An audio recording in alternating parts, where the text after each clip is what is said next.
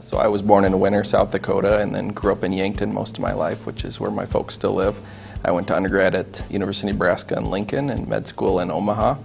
And then I came back here for my transitional year and then went to Mayo Clinic in Rochester for dermatology residency. I was always interested in, in the sciences and then the health sciences later on in life. And I spent some time shadowing different physicians and really uh, respected and enjoyed what they did and, and the relationships that they were able to have with their patients. In undergrad, I actually um, worked in a burn unit down in Lincoln, and it gave me a, a, a real appreciation of, of the skin and, and, how important it is. And then again, spent some time shadowing and really, really enjoyed the variety that dermatology has to offer with the variety of patient ages and the variety of clinic and procedures and pathology. Best part is probably getting to know the patients uh, as, as people and getting to know what their lives are outside of medicine.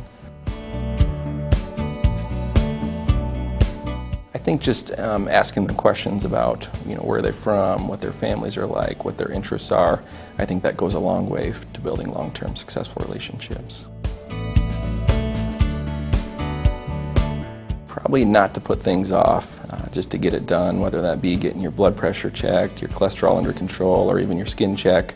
Um, I think just getting it done and not putting things off is important. As sunscreen is very important, and again, don't put it off if you have a mole or something that's that's changing or that you don't like, or someone told you to have looked at. Just just call and make an appointment and get it taken care of. I think I fit in well at Avera. My, my wife actually worked at Avera for a couple of years before we were married, and then I, I spent some time working here during my transitional year. And I really think Avera strives to, to put the needs of the patient first, and, and that's definitely how I was trained, and, and I appreciate that.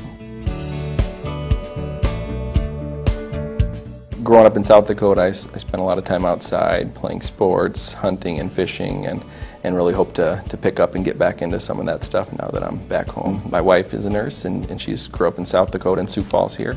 And then we have uh, Ellie and JD, our two girls, and then our third baby on the way in September.